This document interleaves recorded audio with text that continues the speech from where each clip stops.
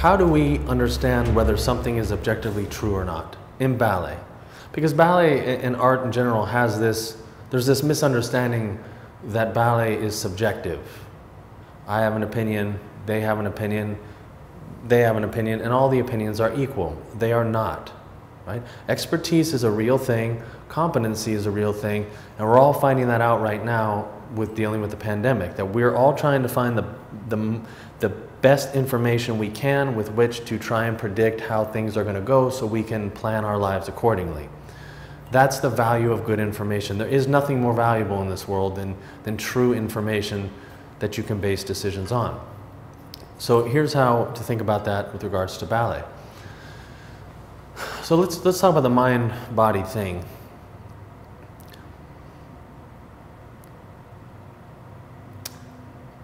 So placement, the placement method, this is a word I initiated and put into the, to the vocabulary of the ballet world. They don't yet understand what it is specifically, but it is not a general term. It's very specific to, to the method that I'm about to share with you all and the curriculum that comes from it and the art that ultimately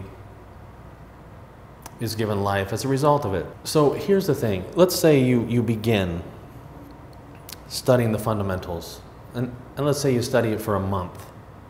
One month. At the end of that month, you do it consistently and you ask me questions and we interact a little bit, you're going to feel the truth of this in your body. And this is, and this is the thing about the body and the mind. So let's, let's look at this for a second. When you think about who you are, your intellect, your soul, your consciousness, it's all contained within your head. It, we are our minds. Our body is something more like a, um, a moist robot, you know, carrying around our minds, feeding blood and oxygen and nutrients to our minds. That's, that's really what we are. They're, they're not connected in the way that we tend to perceive them to be. If our mind and bodies were one, we wouldn't need diagnostic tools in medicine to tell us what's wrong with us. Wouldn't our mind just know? Like you can have a, a sharp pain in your side, well, it can just be a simple cramp, or it could be appendicitis and then you need surgery. So, in order to find out, you need imaging. They need to image the inside of your body and poke around and see, okay, what's what. So, the way, just simply here, the way that our body communicates with us is through pain and pleasure, fundamentally. You know, there's obviously a variety of ways in which you experience those things. And then your perception of those things, so it's, it's a whole other deal. I'm just going to stay on track here for a minute. So we, we experience pain and pleasure fundamentally from our bodies. And obviously, pain is suffering. And if you suffer physically, you suffer mentally. Your mental health is suffered, your happiness, your, your state of mind, your, the way in which you interact with the world suffers, and the people around you suffer. And suffering is worse than pleasure is good. Right? Suffering is worse than pleasure is good, which means if I was to give you a proposition, I said, look, within ballet, okay? I can alleviate your suffering in ballet, all of the suffering associated with your experience. Physical, you begin with the physical because that's where you can begin, most simply. And solving the physical gets you the rest of the benefits. So if I can, I can either do that, I can alleviate your suffering, or I can provide you with some distractions, right? To sort of, so you can cope with the suffering. Which are you choosing? We are all choosing option A, alleviate the suffering. Because if you alleviate the suffering, you get genuine quality of life or pleasure or happiness, however you want to describe it, right? So nobody's going to choose what we all end up having to choose many times. Like we've all been there as adults, particularly.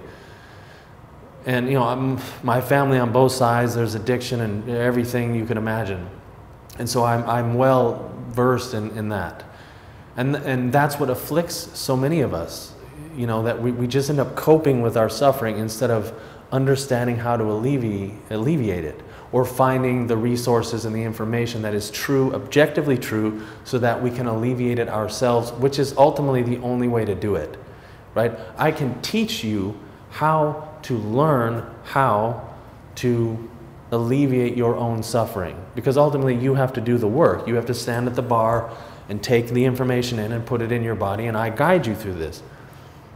So, my real role here is to teach you how to learn, right? Not just give you blank facts and information, although that's part of it. I give you information and, and guide you through it. So, suffering is worse than pleasure is good, and we need to understand that. And this is what afflicts the whole of the ballet world, right? It's just immense suffering at all levels. And it's it is preventable to begin with. That's the best way to handle it. Prevent it right from the beginning. Let's get it right from the fundamentals. That alleviates a whole lot of extra work and misery and money and cost later. But for those who already are, are in the mix of it, so let's say teenagers are really, really at that place of, oh no, you know, teens and early 20s, we have to get to work. And this is where I come in because so, for example, the amount of expertise required to sort out a person that is already suffering is tremendous. It's a tremendous amount of expertise and energy and time and cost involved with that. And it's very, it's very labor intensive. Preventing it doesn't require that level of expertise. So, if I could teach a, a choir of a thousand people how to teach the fundamentals correctly, even people who have never taught ballet before, that's even easier than trying to convert people with already unfortunate ideas in their minds. This is going to prevent future uh, cases of this, of all the different kinds of suffering that come from ballet and then leak out and interact with the rest of your life. So, and now for the profession, for the profession. Uh, there's something I've been meaning to talk about, and I don't want to talk about it right here, but it's something that I'm naming the battered ballerina syndrome. And this, I'm not being funny at all. I'm, I'm very serious about this. We all know what battered wife syndrome is, and this is a very similar thing to where at a certain point, it seems like, and, and it's not case closed. I don't, I haven't had enough experiences at this. I don't know that people at a certain age with a certain amount of and type of suffering in ballet and the way that that is interacted with the rest of the world, I'm not sure that everyone is recoverable at a certain point. I'm not sure they're willing to do what is necessary to recover from it. So people are always recoverable. You can always recover. But for the person to understand and accept that fact that you can recover, unfortunately, the recovery and where you need to find that information and that support is in a place that they just don't want to look, which is, in this particular scenario, it's here. I think I did this podcast a while ago where I said, um, what you most need will be found where, where you least want to look. This is what's going on, in my opinion, in the institutions right now. They're starting to realize that, they, that I'm a force that they're going to have to deal with and it's not you know, it's, it's hard for them and i understand that and i empathize with them i do. But I, I only have so much time and energy in my life and i have to put it to best use where i can. And to me that is that is children and teens and adults. The professionals uh, you know i they're going to have to decide and come to me if they want support. I, I, I can't I, have I've already done it a couple times, and it's, it's just, uh, it's a very difficult thing to talk about even. So anyway, that's not the point of this podcast. But the point is, is, is that, that um, this is my thinking going forward and why I'm developing these programs. And how I would like those of you who are open to thinking about ballet differently to think about it that way. There is an objective truth here. And I think this podcast is about just touching on how do you understand that you're doing something true and correct or not. And your body will tell you. Your, eh, with regards to ballet, your body will tell you. Now, I'll tell you, ballet is a, is a brilliant, done correctly, is a brilliant exercise and self discovery you will understand your body in a way that you never really can with any other physical discipline. I mean, there are, you definitely will learn a lot about yourself doing anything with your body, interacting with your environment. You're, you're surely going to learn a lot. But ballet, because ballet is, requires a redesign of our bodies, beginning with the hips, and because it is not comfortable to us anatomically, it's not, I was going to say not natural as in nature, but if you, but really, human beings are of nature and we create a ballet, so ballet is nature also, but it's not comfortable anatomically, let's put it that way. so therefore, you're able to clear, at a certain point, when you feel that truth in your body, you're able to contrast it with how your body feels in every other aspect of your life, right? And for those who have training, previous training, you can really contrast the difference between what this feels like and what that has felt like.